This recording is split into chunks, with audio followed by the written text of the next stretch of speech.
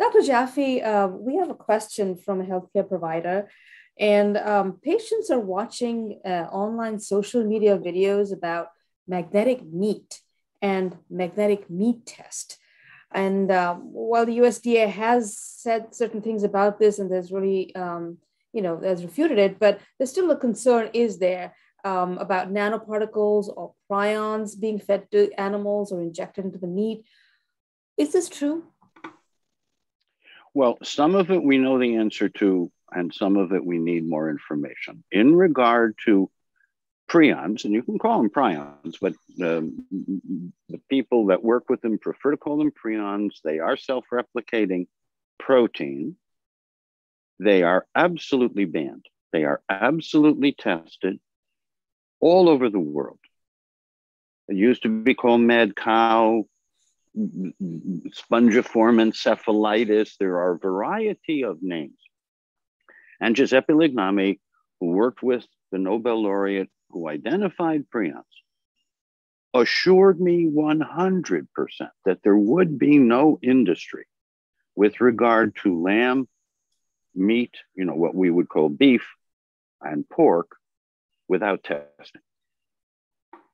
Too dangerous for the animals, too risky for the owner, and surely bad for people.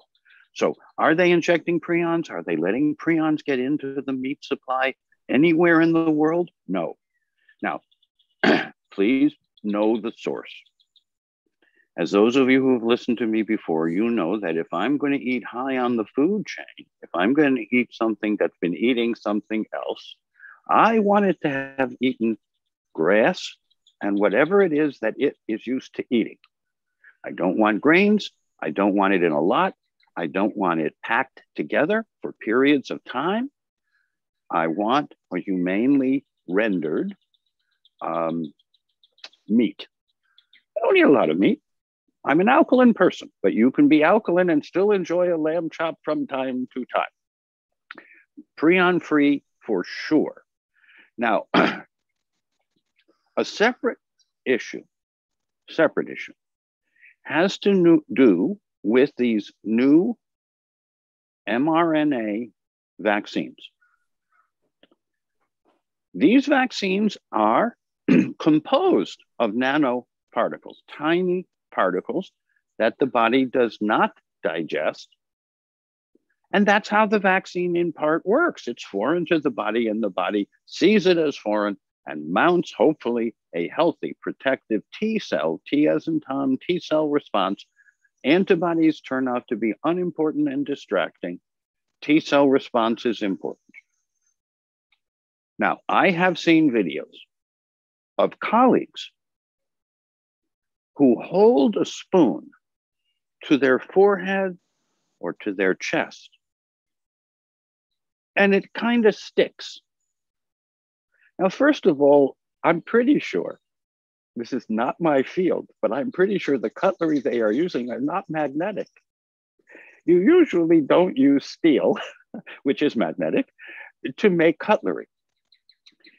What I have seen are well intended people who are trying to illustrate something that is actually not, well, it's not what they say it is. Can I get a spoon to stick to my forehead or can I get a thing to stick to my cheek? Sure, I know how to do that. I'm sure most magicians know how to do that. Do not confuse that with science. Now, are there nanoparticles? Yes. Are these nanoparticles different than any vaccine we've ever seen before, than any medicine that's ever been approved before? And yes, this one was approved on an emergency basis because it was approved on an emergency basis. If you haven't, if you've missed the pandemic of the last year, we'll talk again. With that said,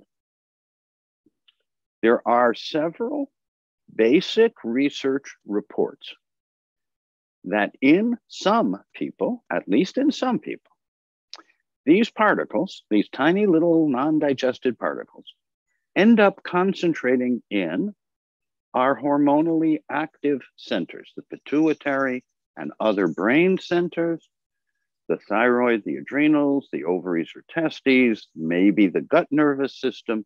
And this is of concern. We don't know what it means. We know they're foreign. We know they're accumulating. We know they are concentrating in what we would call the hormonally active centers. More studies on that are needed. In the meantime, caution is urged. And what does caution mean?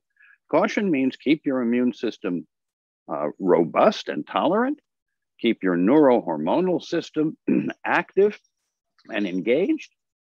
Do the things that enhance the quality of your life.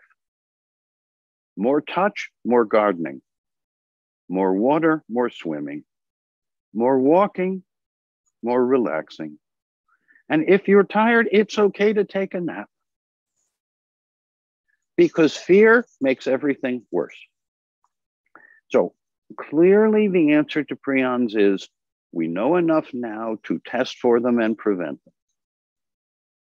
In fact, we even know how to turn bad prions into good prions. And I have given a talk about that. I urge people to take a look at that link in case they want to do a deeper dive on what are these prions and what do they mean. With regard to magnetic particles being injected into people or animals. I've seen it said on social media, but a lot of the things said on social media are said. Um, I, I, I, my, my impression is they're said with good intention by people who don't have a technical enough knowledge to really know the subject that they're talking about. And then you get to people who know the subject that they're talking about, and they talk for a very long period of time. And you're usually not that enlightened by the end of it because it's complicated.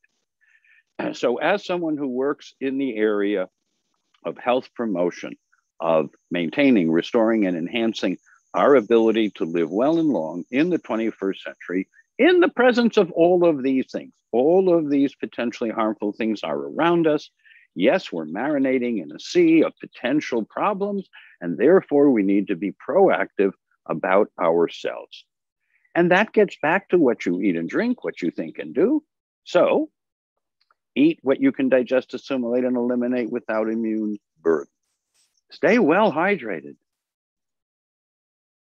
Spend, if you're inclined to be concerned or worry, my prescription is concentrate all of your worrying into five or 10 minutes a day. Become a champion worrier for five or 10 minutes.